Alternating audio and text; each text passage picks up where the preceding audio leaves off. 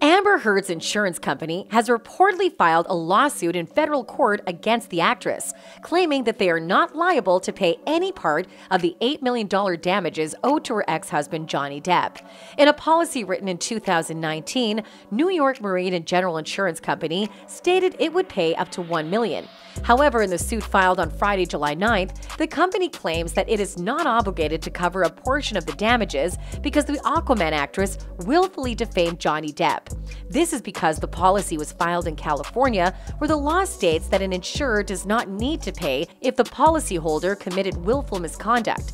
What will be Amber's next move? Let's find out. Amber Heard's insurance company said in its filing that an actual controversy has arisen and now exists between plaintiff on the one hand Heard, on the other hand with regard to the duties and obligations owed between plaintiff and Heard under the policy with respect to indemnity. The jury's factual findings established that Heard's liability is caused by the willful acts of Heard. Last month, Depp won his defamation suit against his ex-wife after the jury found that she defamed him in her 2018 op-ed for the Washington Post.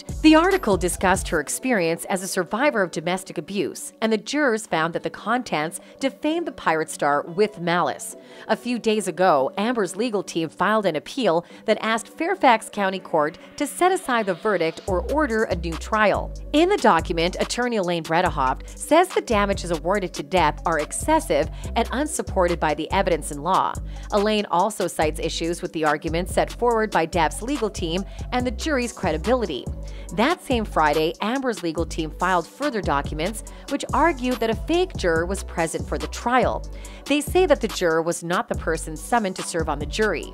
The individual in question lives at the same address and shares the same last name as the person summoned. However, they were born 25 years apart. Shortly after the verdict was announced in June, Amber said in a statement that she was heartbroken and disappointed with the result and what it means for women. Contrarily, Depp said he was humbled by the verdict and thanked the jury for giving him his life back. At that moment, Amber owes Johnny Depp 8.35 million. Though technically speaking, at this exact moment, she's not obligated to pay him anything. That's because Depp has not yet enforced the judgment. Depp must enforce the judgment to make it official. He could also choose to not enforce it.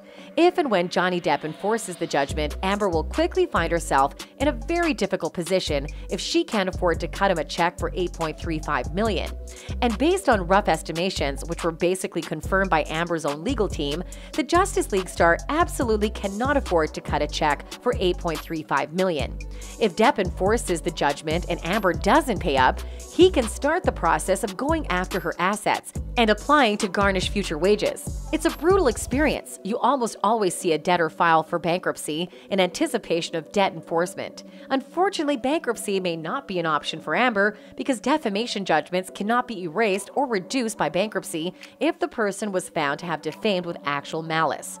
In other words, if it was determined that the person caused the harm intentionally, not accidentally, then the defamed with actual malice, and that takes bankruptcy off the table. Most legal opinions I've read believe that Amber was judged to have defamed Depp with actual malice. Where will the actress get all the money to pay Depp? Let us know in the comments below. In our upcoming videos, we'll be bringing you more of such amazing content, so be sure to subscribe so that you don't get to miss any of them.